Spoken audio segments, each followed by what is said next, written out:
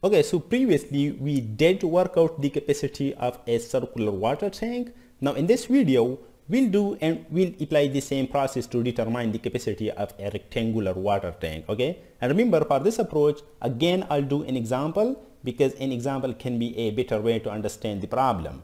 Okay, so simple. Let's focus on this drawing, which is engineering drawing and contains some, you can say 2D plan and then the profile or you can say the long section of the rectangular water tank. You may not be that familiar with engineering drawing so i'm going to convert this into a like you can say a line model. Okay? The length which is of course 500 centimeters.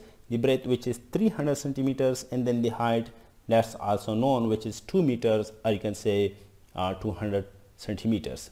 Now this this drawing okay which is uh, you can say engineering drawing is the same as this model. So i'm going to calculate the volume of the, the, this model. You can say the capacity of this model which is going to be equal to the capacity of a rectangular water tank uh, which is just given okay so simple. Now remember the total capacity of the same tank can be taken in terms the tank volume. And the volume of tank equals the area of the base times its depth now area of the base can be taken as length times breadth and then the depth of course which can convert the area into volume.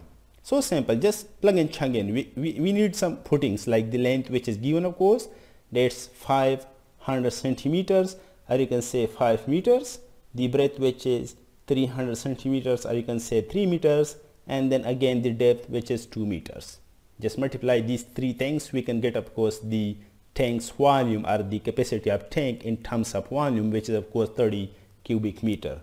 You can also convert this into uh, you can say liters okay if if you multiply the volume with 1000 and of course that's gonna be 30,000 liters. You can also convert this capacity into gallons if you multiply the volume of tank with 264 and that's gonna be of course the capacity of tank which is 7,920 gallons. That's so simple, okay?